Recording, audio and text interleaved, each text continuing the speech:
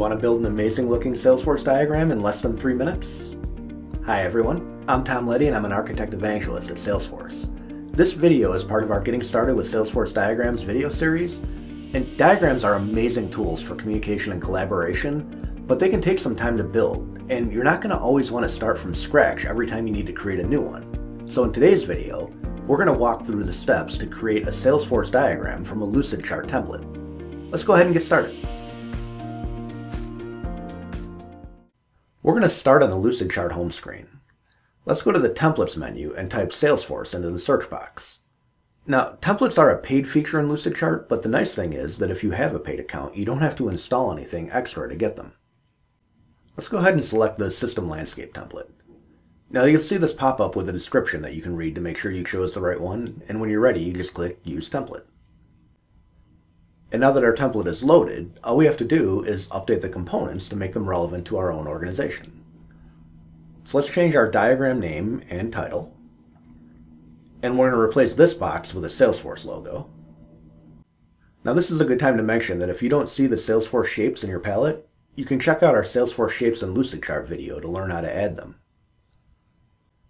Alright, now let's update our external systems. So let's call this one HR, and maybe our inventory management and fulfillment systems are combined into one system that we just call supply chain. And maybe we only have three systems. We don't need these other two, so let's go ahead and get rid of them and recenter the ones that we do have. And let's say that Heroku is also part of our organization's landscape. Now Heroku isn't in this template, but we can easily add a card and a connector for it, and then we can give it a name and add a Heroku product logo too. And that's it. We just created a system landscape diagram from a template and customized it for our organization. Alright, there's one last thing that I want to show you. So now that we've made all these updates, we might decide that we want this to be the starting point for any future diagrams we create since we've already added all the customizations we need. And we can do that really easily by making our customized diagram into its own template.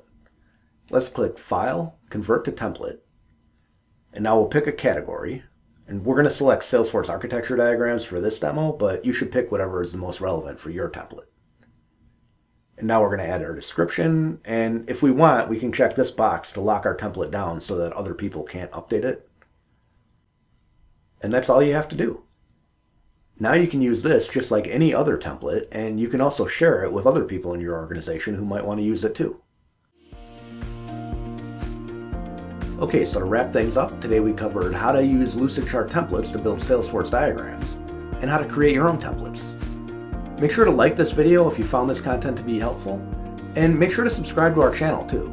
We have a bunch of other great videos about creating Salesforce diagrams, and you're not going to want to miss any of them. Also, we'd love your feedback. Let us know in the comments if you like this video, if there are any other topics that you'd like to see us cover, or if you use what you learned in this video to build your own diagram. Looking forward to seeing you next time.